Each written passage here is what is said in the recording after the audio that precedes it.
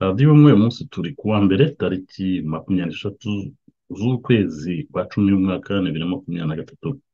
Tukaba twinjiye muri studio radiyo y'ubumwe nk'uko bisanzwe dukomeza muri gahunda yacu yo gukurikirana uko mu karere k'imirwano bihagaze. Abanyarwanda abanyarwandakazi wikendi rwose yabaye bizi yabayemo bizi cyane kubera ko kicanga yabaye kicanga aho rwose kagame na rdf ku kiguzi icyo ari cyo cyose ngo bagomba rwose kuyifata kandi kuko birumvikana hari ahantu ha sitarategike kagame atitaye ku kiguzi icyo ari cyo cyose ku wa gatanu ku wa gatandatu mwabonye ko imisozi ya iki hafi ya za kicanga hariya yari yuzuye imirambo ya rdf makumyabiri na gatatu. Mwabonye imisozi rwose amavidewo arahari nuko badashobora kuyashyira kuri radiyo ngo tuyabereke. Mwarabonye yaba n'abanyarwanda kuva kuri iriya misozi ariko ikigaragara cyo ni uko kigali yo ngo ishaka rwose kicanga ku ngufu byaba ngombwa bakamanukana za kirorerwe ariko kicanga yabaye kicanga nubwo igumya kunywa amaraso rwose y'abana b'abanyarwanda mu by'ukuri rwose umuntu paul kagame we ngo arayishaka ku kiguzi icyo ari cyo cyose atitaye ku bana bazahagwa. Hagati aho ngaho rero niyo mpamvu barimo kubona ko mu masaha ngaya usanga abazerundi babavanyemo mu yandi ugasanga barahagarutse cyangwa basohotsemo bagiye mu nkengero ariko ikirimo kugaragara cyo ni uko ambushi za wazarendo zigiye kumara abana b'abanyarwanda kubera ko izi ntambara n'ubu mwumva ngo rdf umunsi w'ejo ku cyumweru yari yaraye hariya muri kicanga ariko ugiye kureba perte hari agasozi biri biciyemo hafi magana atatu mirongo ingahe abo ni abana ba rubanda aho umwana abonyeho hamwe barimo bahirika n'imirambo ngo itemba imanuka hasi mu kibande ngo igane i rwanda. Ibintu akaba ari ibintu mu by'ukuri ubona ko birimo kugenda bifata indi ntera. Abantu bashobora kwibaza bati se kubera iki kagame na rdf barimo kurwanira cyane kicanga? Kugeza n'ubwo rwose harimo kugwa abana benshi ahubwo tuba tuvuga amagana ntabwo turi muri mirongo. Barimo gufata amatekwa bamwe baraberekanye hari imbunda zigenda zifatwa nshyashya zigira gute? Nubwo bigaragara ko n'ingabo za yase hari icyo zabafashijemo kubera ko ejo ku cyumweru ku wa gatandatu hari ibyangombwa bimwe na bimwe byafashwe bigera kuri cumi na birindwi. Harimo cumi na bitatu bya updf harimo ebyiri z'abanyakenya n'igipapuro kimwe cy'aba south sudan. Ngabo rero tukaba twibaza niba bari bivanyemo imyenda yabo bakajya gufasha mu makumyabiri na gatatu ni cyo kintu cyababeranye cyangwa se bimeze gute? Akakigaragara cyo ni uko ziriya ngabo za yasi hashobora kuba harimo abari muri icyo gikundi kereka nimba ari abitiza ibyangombwa byabo kugira ngo bashobore kwiyumfiritira abo ngabo ni abaguye ku rugamba rwa kicanga bashoboye bazarinda aho bashoboye kuvanamo ibyo byangombwa. Imirwano yakomeje cyane propaganda zirimo zitambuka muri kigali ngo ye ngo twafashe kicanga ariko kicanga barimo barayirwaniramo byo kwiyahura kubera yuko barimo barayibona ko ari inevitable muri ya gahunda yo kuvuga ati twebwe intambara tuzayikwipinga bizi muri congo ntabwo izigera yambuka iwacu mu rwanda. Ariko ubwo ngubwo ubwo igicanga byari bimeze gutyo biri bizi umanutse ukagera za rucuro naho ni ibindi bindi. Naho ni ibindi bindi kubera yuko rucuro naho cyane cyane ahantu bita kiriyandonyi umunsi wo ku cyumweru abazarendo bari bamereye nabi rdf makumyabiri na gatatu banabirukanyemo intambara zikaba rwose zigaragara ko ziza zerekeza ikiwanja ariho turimo kubona ko wumva rdf yakoze deborodoma ikajya mu gice runaka. Kubera umusaza uvuye hakurya mu rwanda.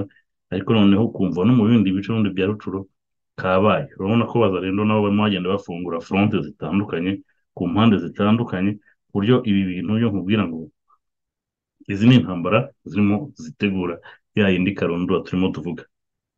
Kigali byanze bikunze bagomba gushyiramo akabaraga bakohereza umusaza ushoboka bakabwira n'abariya bayobozi irangabo ko bagomba kurwana cyane cyane ko urimo kubona ko barimo kuhashirira ariko abanyarwanda. Amavidewo mfite hano ntabwo twashyira kuri yutube birumvikana kubera ko harimo byinshi byakanga abantu ariko ubonye ya misozi ya masisi cyane cyane ijya kwegera gicanga wavuga uti ababyeyi barabyaye abadamu wavuga uti ababyeyi bagiye kuba incike abadamu bagiye kuba abapfakaje udusozi twuzuye abantu. Ntabwo tuba tuvuga icumi makumyabiri mirongo itatu tuba tuvuga amagana birumvikana ko abavuga ngo eee ngo n'abazarendo ngo barapfa. Yesi icyo cyo kikwereka ko urugamba rurimo. Urugamba so bivuga iki? Urugamba bivuga intambara. Iyo abantu barwanya rero ntawe urwana n'udakoramo. Ahubwo ikibazo aho bitandukaniye ni hamwe. Umunyarwanda bariya abanyarwanda babonye bahirika kuri iriya misozi imirambo bayihirika urabona bavuga ngo ni koroneri.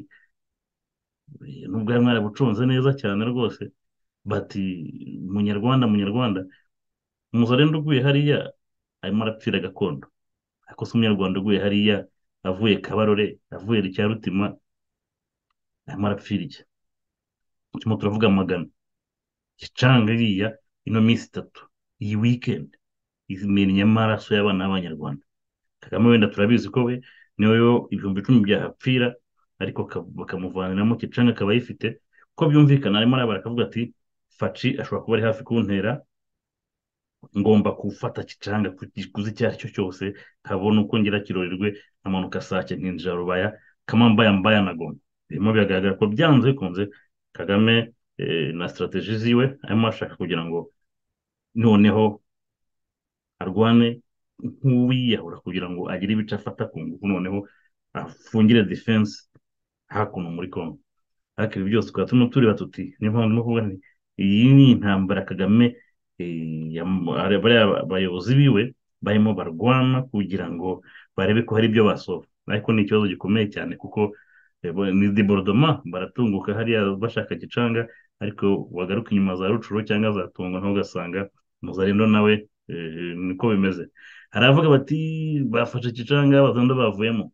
Nibyo intambara birahindagurika ushobora kuhafata uno munsi bugacya mu gitondo bahavuye kuko buriya intambara zirimuka akenshi na kenshi uzabigenzure buriya amadefense ntatinda ahantu bahora bimuka cyane kuko aho hantu haba harimo n'iby'ubuzima n'iki kandi iyo barimo kurwana nka kuriya ntabwo ari kimwe kuvuga ngo ni defense bashinze ifite ibyangombwa byose ubwiherero ibiki byose ibyo byose niyo mpamvu ahantu usanga batahamara iminsi itatu cyangwa bahora bamuvinga ibi byose ukaba urimo kureba ukabona ko rero ari bya bindi bitanze ari ya ntambara irimo gutegura ya yindi karundura tutazi aho izatangirira n'aho izaba yerekeza. Ikigaragara cyo ni uko abasirikare ba rdf makumyabiri na gatatu bafite burifingi zo kurwana gukoresha umwuka wa nyuma bafite kugira ngo barebe ko hari ibice byigarurirwa basubirana mu byo batakaje. Noneho izo ntambara za fesiti sesekedi ashobora kuzatera zikazasanga baripanze hariya noneho ingufu bakazishyira hariya ngo ariho nk'uko babivuze bati ka rwanda ni gatoya tugomba kukarinda uruguma. Ka rwanda ni agatwe gatoya kagomba kurindwa uruguma. Ariko ukaba uvuga uti ibi byose mu by'intambara iyo urimo kubireba kagame yinjiyemo hari ukaba ingufu arimo gukoresha nyinshi cyane ku bazarendo ukibaza uti felix ashifitinze intambara akinjiza nk'ibihumbi icumi tuvuge muri mu rwanda. Intambara yakwiyajisita noneho. Ariko ibi byose niyo ndimo turimo tureba eh, sinshaka kubivugaho byinshi cyane ariko ku guceceka kwa kongo maregere byose birimo biba fadese ngo ngwino cyarimo gukurikiza ibyo eh, bya seserofe ariko ushobora gusanga bafite ibyo barimo bategura nabo aba sitarateje babo aba enjeniyeri de komba baba bafite ibyo barimo bategura kwereka ko uku kwiyahura kwa rdf makumyabiri na gatatu mu by'ukuri ni ugutanguranwa n'igihe ngo barebe ko baburizamo ibirimo bategurirwa. Ko bimeze. Izi ngufu ubona binjiranye. Barimo gushaka igicanga ku ngufu barimo gushaka kwanga kuva muri bwiza ku ngufu nta kindi barimo kubikorera. Barimo baragira ngo barebe ko baretarida cyangwa batinzamo amaoperasiyo fayidesi yaba irimo gushaka gutegura. Ariko ibi byose nubwo barimo kubikora. Izindi foronte na zo zirimo zirafungurwa. Bazenda nabo si abana bamwe baratakwa hano ariko abandi nabo bamfunzwe nk'ubu bumva ko intambara ziri za kicanga hariya ariko kuri furo ya kiriyandoni kabaye abazarendo bamereye nabi bari abahungu ba rdf baka imbunda nyinshi cyane nshyashya. Ibi byose mo mubona ko ari intambara zirimo zitegurwa kabisa kandi bigiye kuza ubona ko kagame we arimo gukoresha za mbaraga za nyuma mu gihe fadese ntarimo gutekereza niba ikirimo kuhaba. Mwabonye umuntu bita minisitiri w'urubyiruko nawe nyuma y'aho umuntu bita kenisi atubitinze avuga ati ese urubyiruko rw'abanyarwanda rutayari kurwana ko intambara ari ku muryango? Kubona minisitiri nawe yahise afata ya twita akayitwitinga nawe akongera akayisharinga. Hari icyo bishatse kuvuga ko buriya bagabo barabizi ko intambara byanze bikunze irubuza nubwo batangwa ngo ariko bashyiraho icyo twakwita nk'ingabo cyangwa kujya kurindira iyo kure ni byo barimo kurwana byo kubera ko biriya bintu byose ubona bazarendo bagezeho kandi kuko ni mu gihe niyo mpamvu bakaba batangiye kuvuga bati eyase na yo ni abagambanye kandi kuko ntawabihakana ubona iriya sipidi bari bazamukiyeho iyo abanyakenya batitambika n'abaganda murabonaga ko hari za rucuro na za kiwanja bari bafashe babasunitse rwose bashaka gukomeza nyamubunagana bariya bo muri nyiragongo nabo bari bashatse kwinjira mu madifensi ya rdf abanyakenya baritambika iyo ingabo zitaza kwitambika uburyo uriya muvuduko wari waje utunguranye ahantu hose intambara yarahinduye isura aka kanya tuba tuvuga indi nkuru. Ibyo twari birimo kubona ko bazarenda bakomeza barimo kugumya kwisunganya no kugumya kuzamura umujinya kugira ngo ubone ko mbabibye ko yase next time noneho n'ibitambika nabo bashobora kuzabakuburana ibi byose ni ho birimo byerekeza. Tukaba tubona ko tugiye kwinjira muri ya ntambara kandi buri munsi tubona ko kigali ariyo izabanziriza kubera ko bo nta choice bafite kandi ndanabumva. Ko bagiye guterwa bakavuga bati reka twihambemo hariya dukora ibishoboka byose. Aho gupfa ejo wapfa aho upfa none wapfa ejo mu byo barimo bakora n'ubwiyahuzi kuko banyarwanda abanyarwandakazi urebye iriya misozi ya masisi mirambo ihuzuye ukareba muri ya misozi yegereye hariya hegereye bwiza ukuntu ibintu bimeze ntabwo byoroshye. Nubwo mva ngo barimo barafata hamwe barimo barafata ku kiguzi gikomeye cyane abana b'abanyarwanda baruzuye ni imirambo gusa. Mwumva kigali gusa ifite propaganda n'izo za makumyabiri na gatatu ngo bahangwishe ngo bafayidese benshi bagize gute simvuze ko nta bakomereka nta bapfa. Ku rugamba niko bimeze. Icyangwa ni ukuvuga ngo upfiriye iki? Abanyarwanda abanyarwandakazi navuga ngo ni ibihe bikomeye turimo twinjiramo kandi impera z'uku kwezi ibintu bagenda bihinduka cyane. Urebye aba rdf makumyabiri na gatatu barimo kugwa muri ziriya ntambara ukaba ubona ko bagumya benjegitamo abandi benjegitamo abandi. Barabona ko mu by'ukuri kigali ivuga iti tugomba kuzayirwanira hakurya kuko iramutse tugarukanye bwo bizaba ari ibindi bindi. Ariko ibi byose ukabona ko kongo na yo ibyo umukino wayo uburyo urimo kuwutegura ni byo biteye kigali kwiyahura.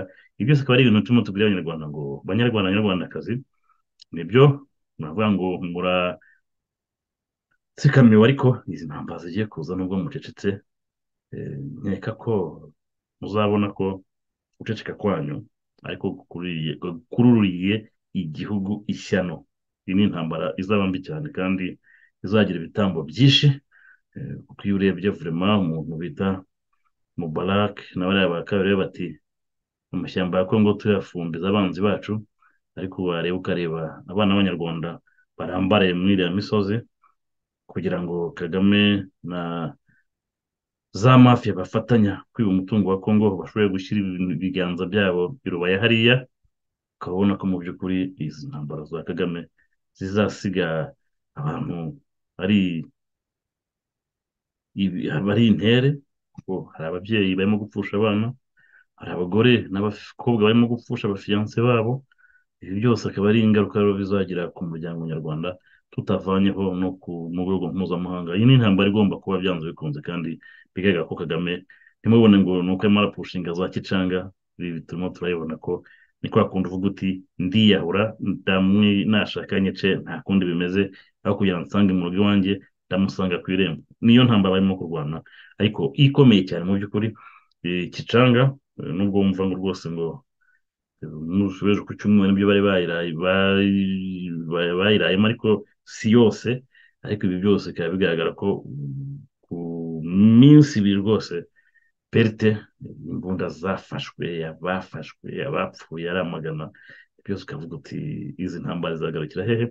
Paul kagame byanze bikunze zizasiga zimushyize ku karubanda ko rero ikibazo gikomeye cyane utuma tuvuga duti ese abanyarwanda abana b'abanyarwanda bavukiye kujya gufumbira amashyamba ya kongo kubera iki tugira igisirikare cy'umuntu tukagira igisirikare kidakorera abaturage ahubwo gikorera umuntu n'inshuti ze ba imperialiste? Tujya dukunda kuvuga nti kagame na fpr bazagenda kurwana n'abanyarwanda bazahoraho. Nkibaza icyo abanyarwanda batekereza ariko ibi byose izi ntambara umunsi zaba zitangiye kandi ntabwo ari kera birimo biregereza. Akazi ko barabizi ngo barahata bapfa ariko bongeramo bapfa bongeramo ni ukuvuga bati aho kugira ngo reka dusunike bibe bigutinze iyo ngiyo saa kindi zaba ibyara ikindi. Naho ngaho bahagaze. Kandi ngaho navuga rero ngo abanyarwanda abantu baracecetse barumiwe. Si uko batabibona barabibona kuko bariya bose barimo kugwa hariya bafite imiryango birirwahamagara hanze turabizi. Imiryango yo muri canada iri mu biriyo za amerika i burayi mu rwanda aho baracecetse. Bariya bagabo bo barumiwe kubera ko ibintu biteye ubwoba cyane turimo kureba hariya ku buryo navuga ngo imitima y'abanyarwanda umenya niba ari ibyo abantu babonye harimo ubunyamaswa bwinshi. Nta n'umwe uvuga nta n'umwe ukopfora ntibabiza tubireba n'abambona bihita. Bakaza bagatwara bagasoroma abana banyu bagatwara hariya ngo bajye gupfira ba birigeti bagasoroma abana banyu bakabatwara hariya ngo bajye gupfira kagame. Bajye gupfira famiye ya kagame kugira ngo ntacyo mu bagumye kwambara isaha za miliyoni magana atanu. Umukobwa we anje kagame akomeze gutwara imodoka ya miliyoni magana inani. Mu gihe miliyoni magana inani zirimo imiti yavura impinja zavutse zarwaye malariya mu gihe cy'umwaka ibi byose banyarwanda baravuga ngo uguceceka niko kuzurika igihugu kandi nyuma y'ibi byose tuzagirana urubanza. Ibi ni ibintu turimo tureba biza ariko bose baceceka ndavuga ngo nyuma y'ibi byose dufitanye urubanza. Niho ndavuga ngo kagame na fpr dufitanye urubanza. Namwe mwese kandi muri nyuma ya fpr hari icyo amateka azaba nk'uko bisanzwe rero reka turekere ahangaha tuzakomezamo kureba uko intambara irimo kugenda yevariwa ariko icyo twabwira ni uko mu gihe kitarambiranye cyari gitegerejwe kizigaragaza kizagaragara ni intambara karundura kandi izasiga imbwa n'umugabo. Nkaba navuga rero ngo abanyarwanda mukomeze mwihangane kandi murusheho kuba abagabo no gutekereza kubera yuko ibi byose bigashyika reka ko buri munyarwanda wese azishyura fagitire. Murakoze rero mwakumwe nanjye francois mutuye mu ngo ku buyobozi bwa radiyo umwe naho ubutaha kandi mujye mwibuka gukora. Subscribe mu like kandi mu sharinge kandi mukibagirwe no kuduha comment kubera ko muri comment ni ho tuvana ibitekerezo byanyu n'uburyo muba mwashoboye kwakiramo ikiganiro. Murakoze rero turi kumwe.